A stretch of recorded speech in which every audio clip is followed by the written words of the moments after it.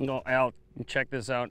I snagged one of the little shiners that they're feeding on.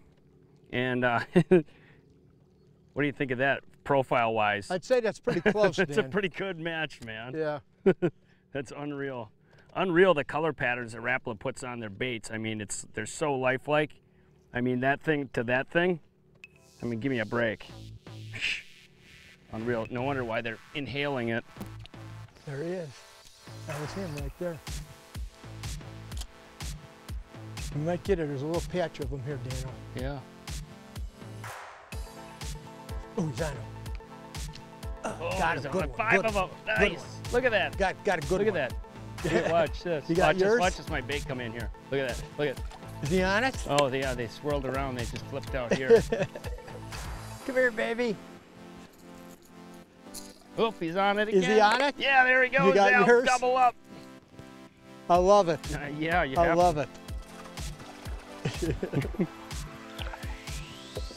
you know, these fish are incredibly uh, adaptable.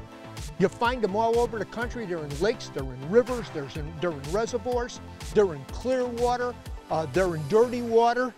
They adapt really, really well. In fact, the best and biggest white bass fishing I've ever experienced myself was in Canada.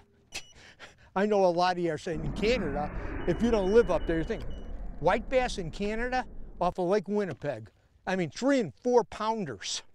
I mean, just giants, absolute giants. And in North Dakota, Devil's Lake has got them. You, you know, it's a really big fish.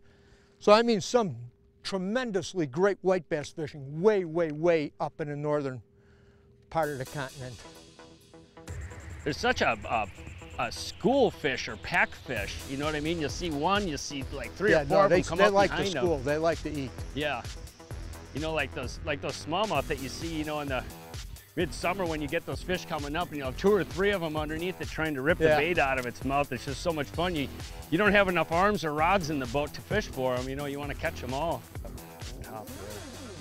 Oh, oh, there he is. Yep. Way up on top, Al. Yeah, You may want to go. him. I see him, Bob. Yep, you see him busting up there? There's enough. Al, there's three of them on my bait. Okay, I got it. There's I got three it, of them. Look at at 'em. Four of them. Four of them. Four of 'em. Let me get Look let at me 'em. get in. Oh, yeah, they just ran to the No, right. hang on. I'll get Look it. Oh, look at they're still on it. Oh, we got it. Oh, oh, get out it. there. Get it. I'll leave it in the water. Oh, look at this. Got him. Got That him. one came right here. That one, look at that. That one hit just when I was going to pull it out. She was still holding them. Oh, look at that. Huh? They are fun, oh, fun, man. Oh, I love catching these.